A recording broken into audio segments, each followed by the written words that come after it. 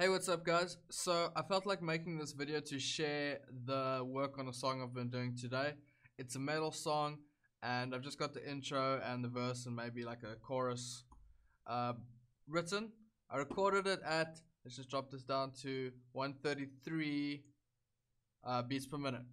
And I want you guys to listen to this, tell me what you think, but also after I play it to you at this speed, I'm going to play it to you at 160, uh, which is and just tell me listen to the difference and tell me if you think that recording at a lower speed and then upping the tempo in the program is like cheating. I mean sure it's cheating but like are you cool with it? Is it something that's going to make you feel like oh i don't want to listen to this musician or do you think it's worth doing if it benefits the song I'd love to hear your guys' opinion, but without further ado, let me just play the song for you.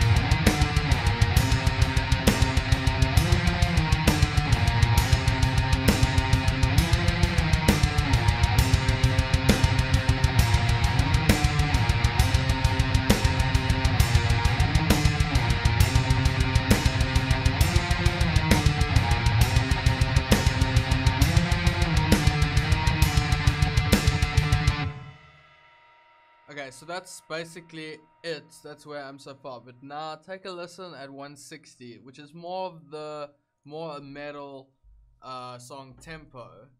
And yeah, tell me what you think.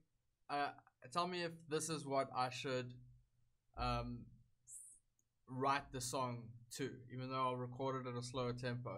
If you want the song to sound like this when it's finished, just let me know what you think.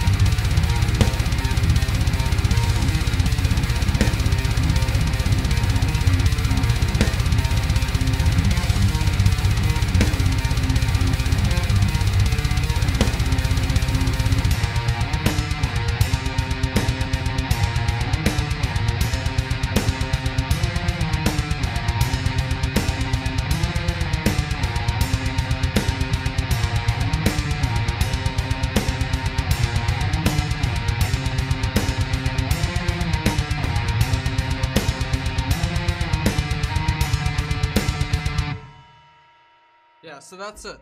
Um, comment down below.